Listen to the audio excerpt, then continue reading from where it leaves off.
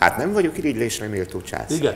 A Bizán című darabban én vagyok a Herma, Hermát játszom, aki a mi felfogásunkban a szerepén azt gondolom, hogy túlmutat, és a halál angyalát személyesíti meg egy nagyon misztikus figura, ö, a nevéből is egyébként a Viktor ö, asszociált erre a nemtelen lény, angyal, valami fajta misztikum. Feloldja azt az ellentmondást, hogy, hogy gyakorlatilag materiális, tehát csak pusztán ész, ész alapon megközelíthető dolgok vannak. A szerepemben a legnagyobb segítség a partnerem Vicián Otto volt, akivel nem volt alkalmam még dolgozni, de nagyon élvezem a közös munkát.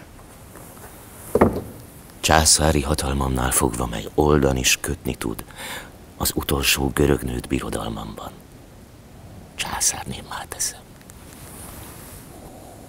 A legnehezebb egyelőre, hogy, hogy ugye kívülről nem látom magam, és azt, hogy én ö, ö, hogyan tudok ö, szexusmentes lenni, ö, fiú nem vagyok, azért ez remélem látszik, de hogy, hogy lány se legyek, ö, és ennek találni egy olyan hangot, ami, ami nem feltétlenül emberi, de mm, van egy másik dimenzióból megszólalni, hát nem tudom, hogy fog-e sikerülni, ez nagyon nehéz, illetve szeretném a mozgásában is, mivel elemelkedni nem tudok egy centire a földtől, de valahogy mégis mozgásában is elválni a többi kollégától, az udvartól, a színésztársaimtól.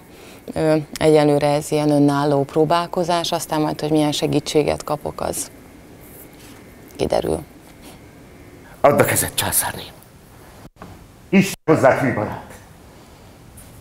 Előre, férfiak. Fegyverrel vágunk utat az utolsó bizánci császárnak. A hősök csarnokába.